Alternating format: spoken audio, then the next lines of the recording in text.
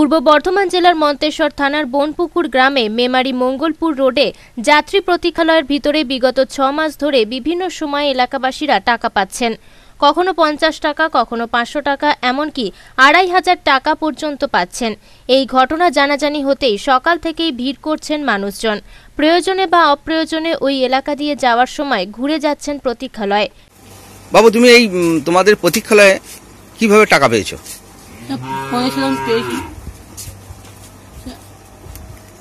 কত টাকা? কবে? খারাপ তো যে কবে পেয়েছ? পরশু। কি করছিলে? খারাপ দিয়ে? যে এসে পেয়েছি। পেয়েছি। কীভাবে ছিল টাকাটা? তলায়। আমি এখানে একদিন দুপুরবেলায় মানে খেলা করছিলাম। খেলা করতে করতে আমি ওই কোনটায় ষাট টাকা পাই। এবং ষাট টাকা পাওয়ার পর আমি ওই টাকাটা আমি বাড়িতে দিয়ে আসি। এবং বাড়িতে দিয়ে আসার পরও দেখি এখানে তিরিশ টাকা পড়ে থাকে। আবার ফিরে এসছিলে? হ্যাঁ। তো আমি গ্রামে অনেক ছেলে পেয়েছিল। আমি কোনো ওই দেখেছি। যেমন আমাদের গ্রামে এক্ষুনি একটা একজন বলল সে নাকি তিনশো টাকা পেয়েছে আমি কিন্তু অত টাকা কোনোদিন পাইনি। আমি সে তিরিশ তিরিশ টাকা ষাট টাকা এমন পেয়েছি। এখানে তো পয়সা তো রেগুলার পাওয়া যাচ্ছে। লাগার চোদ্দ মাস থেকে মানে এই প্রত্যেক দিন দশ, বিশ, পঞ্চাশ, একশো পাঁচশো। কেউ না কেউ মানে পাচ্ছে পয়সা এখানে। এবার গতকাল গতকাল কিছু শোনা যায়নি পয়সার জন্যে। হ্যাঁ আর যদি বাকি কেউ পেয়ে থাকে, চেপে দিলেও চেপে দিতে পারে। কি করে কোথা থেকে টাকা আসছে এই নিয়ে চাঞ্চল্য ছড়িয়ে পড়েছে? প্রধান জানান, বিষয়টি জানা ছিল না। তিনি খোঁজ নিয়ে দেখবেন। বিষয়টা দেখুন, আমি এই প্রথমেই আপনার কাছ থেকে শুনছি। তো শোনার পর আমার জিপিতে বোনপুরের কিছু গ্রামবাসী আসে, আমি তাদেরকে জিজ্ঞাসা করলাম। ওরাও বলছে নাকি হ্যাঁ এরকম সংবাদ আমাদের কাছেও আছে। তো বিষয়টা যেহেতু আমি এখন প্রথমেই শুনছি আমি একটু খোঁজ খবর নিই, তারপরে বিষয়টা আমি এই ধরনের টাকা পয়সা পাওয়া আপনার কি মানে বাহ্যিকভাবে আপনার কি মতামত রয়েছে? টাকা পয়সা যেহেতু পাচ্ছে এটা একটা বিষয়। তো সেটা কি কি বিষয় সেটা তো আমাকে একটু জানতে হবে জেনে তারপর আপনার মন্তেশ্বর থেকে রীতা ভট্টাচার্যের রিপোর্ট আনন্দবার্তা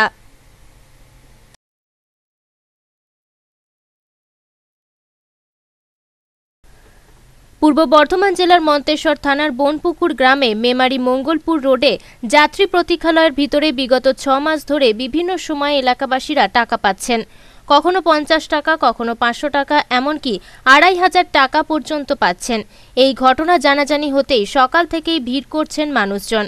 প্রয়োজনে বা অপ্রয়োজনে ওই এলাকা দিয়ে যাওয়ার সময় ঘুরে যাচ্ছেন প্রতীক্ষালয়। বাবু তুমি এই তোমাদের প্রতীক্ষালয়ে কীভাবে টাকা পেয়েছ? পেয়েছি।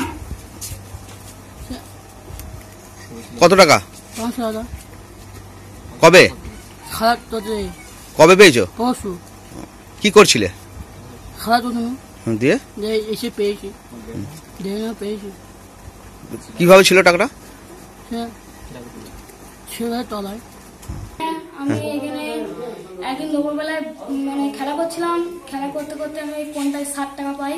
এবং ষাট টাকা পাওয়ার পর আমি ওই টাকাটা আমি বাড়িতে দিয়ে আসি। এবং বাড়িতে দিয়ে আসার পরও দেখি এখানে তিরিশ টাকা পড়ে থাকে। আবার ফিরে এসছিলে? হ্যাঁ।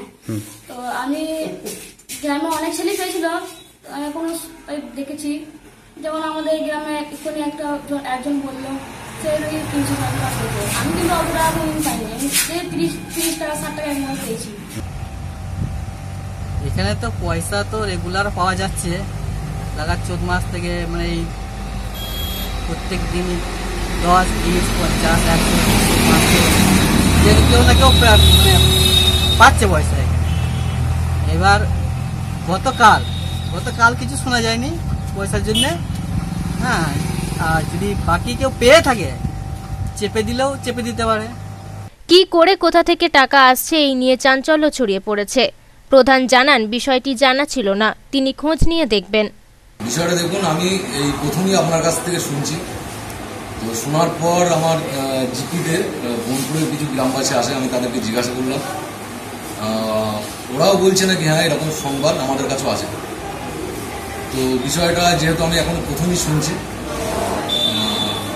আমি একটু খোঁজ খবর নিই, তারপরে বিষয়টা আমি এই ধরনের টাকা পয়সা পাওয়া আপনার কি মানে বাহ্যিকভাবে আপনার কি মতামত? রয়েছে টাকা পয়সা যেহেতু পাচ্ছে এটা একটা বিষয় তো সেটা কি কি বিষয় সেটা তো আমাকে একটু জানতে হবে জেনে তারপর আপনার মন্তেশ্বর থেকে রীতা ভট্টাচার্যের রিপোর্ট আনন্দবার্তা